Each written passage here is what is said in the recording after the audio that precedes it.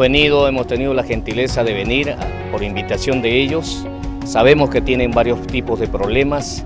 Uno, para mí, que es fundamental y prioritario, es de todas maneras la cesión de sus, de sus terrenos de ellos, ¿no? Tratar de, de que ellos están detrás, digamos, de que se les expida una, una constancia de posición que hace casi ya 19 años no los tienen, ¿no? Entonces creo que ese es lo primero para ellos. Y bueno, ver el otro tema hídrico también, de qué manera se, les puede ayudar. Con Ana vamos a tener las conversaciones del caso y indudablemente con el gerente de desarrollo económico vamos a hacer los, las mediaciones o los acercamientos a Incaterra para ver de qué manera excluyen toda esta parte que es donde ellos ya están trabajando. ¿no? no nos olvidemos que están produciendo muy buena cantidad de arroz acá, estamos hablando de 90 hectáreas y más o menos a 5 toneladas mínimo por hectárea, estamos hablando de 450 mil eh, eh, toneladas, o sea que no es poca cosa, ¿no? Entonces eh, hay que apoyarlos en todo lo que se pueda. Ya de aquí a ellos no se les puede excluir, no se les puede sacar, muy por el contrario. Creo que está en nosotros como autoridades tratar de ver esto, porque ya es un proceso productivo que tiene muy buenos años.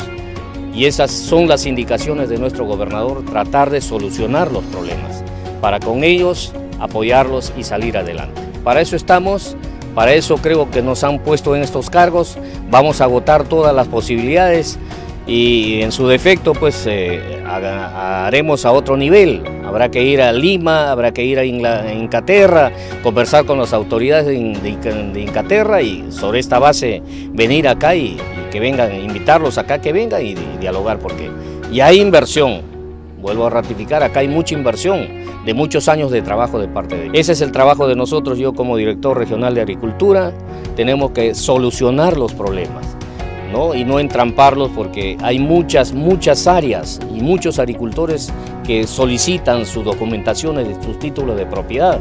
Entonces hay muchos entrampamientos, hay muchas superposiciones. Esa es el gran, la gran tarea, la gran labor que nos toca, nos corresponde.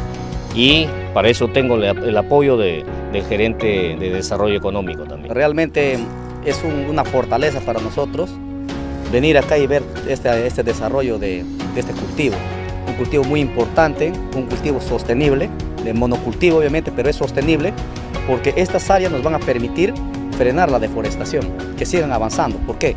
Porque esas áreas son ocupadas año tras año tras año, ¿no? Entonces, sí, efectivamente, ya creo que el director de Agricultura ya dijo todo lo manifestar, pero yo solamente busco como presidente de la Mesa Técnica Agraria de que esto se ordene. Y eso tienen que entender los hermanos, que no estoy a contra los hermanos de las concesiones, no podemos estar toda una vida entre hermanos de Madre de Dios que, eh, en broncas, ¿no? Tenemos que sentarnos y ordenar nuestro territorio para que las economías públicas y privadas fluyan a beneficio de quién, de los agricultores y obviamente el desarrollo de la región. Es lo que yo quiero. Entonces vamos a seguir trabajando. Ya estamos llegando a otro nivel este, de trabajo con Julio porque estamos haciendo capacitaciones ya.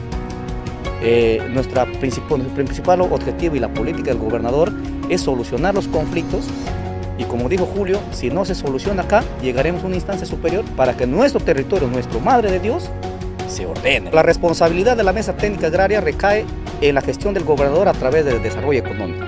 Y como gerente de desarrollo económico que me da la confianza, tengo que trabajar para ello, ¿no? porque para eso me pagan. Entonces tengo que trabajar para una gestión transparente, una gestión que realmente este, garantice pues, el desarrollo de la, de la... Coordinamos, nosotros venimos como Mesa Técnica Agraria acá, cosas que no podemos solucionar nosotros, acudimos recién a nuestro gobernador para que con, por los medios políticos nos apoye y nos fortalezca.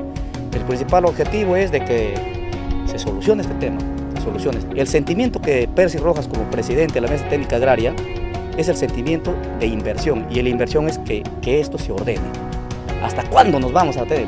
¿Va a pasar 20 años más? Ya no, pues tenemos que ordenarnos para que, para que esta región sea una, una región próspera, una, una, una, región pues, con muchas facilidades, acceso, crecimiento.